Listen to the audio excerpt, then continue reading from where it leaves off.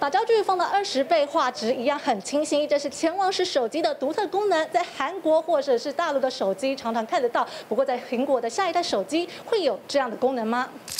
手机镜头明显外凸，这一张就是中国网传即将在两个月后推出的 iPhone 十四 Pro Max 的真机照。尽管今年主镜头画素升级，但少了潜望式镜头，机身还变得更厚。尤其镜头模组这个部分，扣除机身厚度，镜头突出达四点一七公里。今年是绝对不会有潜望式镜头放在这里面的，因为苹果的它的硬体规格绝对不会是一次就跳得非常高，它一定都是慢慢慢慢在改变的。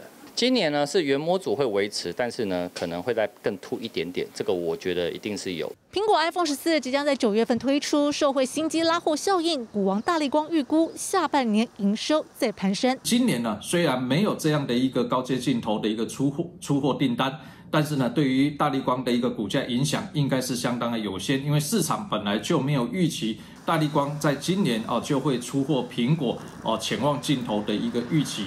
潜望式镜头似乎成为手机标配，外界预估明年苹果新机渴望配置。如果想要拍远景又有高画质，相机部分还不要凸的那么明显，果粉们可能还要再等等。金星闻吴雅婷、钟成良采访报道。